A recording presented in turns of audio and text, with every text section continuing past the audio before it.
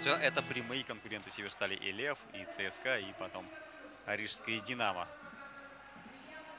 В Бердников попадает шайба после броска Киселевича. Еще один бросок и снова игрока Льва попадает шайба. Теперь на себя принимает бросок уже немец. Бросок и гол! Гол 2-1. Не приезжали шайбу сейчас. Чехия бросает в бортик клюшку сейчас. Топи Якола. Посмотрим, будет ли он наказан за такие действия. Северсталь выходит вперед.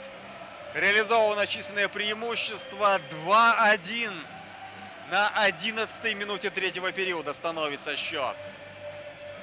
Добились таки желаемого. Сдал здесь арбитр побороться.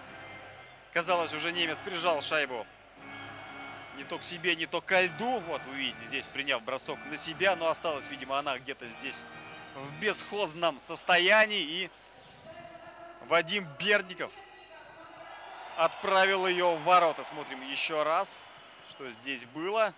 Да, не удержал немец шайбу, а Берников отправил ее в ворота. 2-1 Северсталь реализовала большинство. Как раз мы говорили о важности этого компонента в таких матчах. И вот это начинает работать.